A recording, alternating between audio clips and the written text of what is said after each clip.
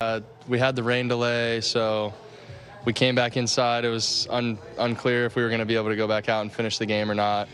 And I think I was like six or seven spots away, so I wasn't sure with more rain coming if, if I was even going to get the opportunity. But uh, really good bat by Mateo, at bat by Mateo right there to to draw the walk and get on base and get an opportunity for me to come up and uh, put that swing on the ball. It was, it was crazy. I was definitely thinking about it. Uh, I was just thinking about getting a slider that was hanging over the middle of the plate and hitting it to left center, and sure enough, Cishek hung a slider right there, and uh, I was able to hit the line drive to left center. It was a really cool feeling. Goosebumps hit me right as I was touching second base, and nothing else to do but just point up to the sky and you know thank God for the opportunity for that. It was, it was a really cool moment. You had a lot of time during the delay. Was it? Were guys talking about it? Did you know about it before you went back out there?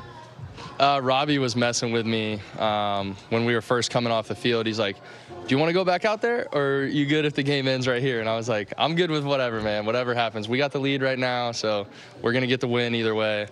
Um, but it was it was it's a cool experience for the rain to hold out and to be able to go out there and do that. Um, that might never happen again, so I just tried to to enjoy the moment out there with my teammates.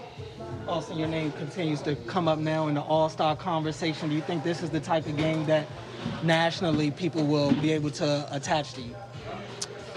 I mean, I'm just trying to play my game every day.